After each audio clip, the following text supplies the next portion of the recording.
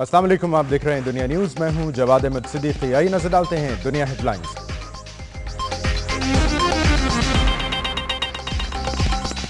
लियारी कराची में हालात बदस्तूर कशीदा। पुलिस और मुजाहरीन में तसादुम। रेंजर्स का इलाके में गश्त, फायरिंग और शेलिंग से लोग खौफजदा।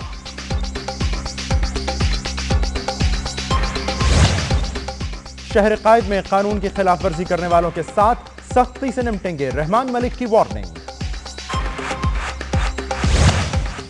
सियालकोट में तहरीक इंसाफ, सियासी कुत का मुजाहरा कर रही है। जलसे से रहनुमाओं का खिताब जारी।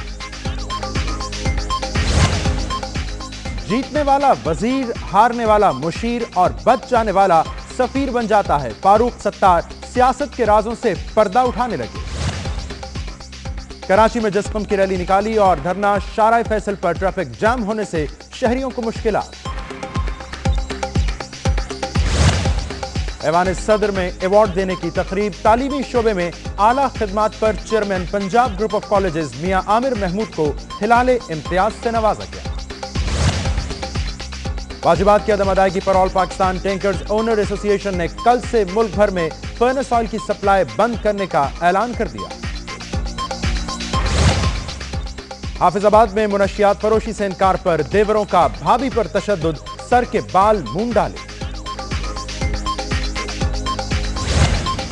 और अमेरिका में 10 साल लड़की ने 215 पाउंड वज़न उठाकर वेट लिफ्टिंग का आलमी रिकॉर्ड बना डाला।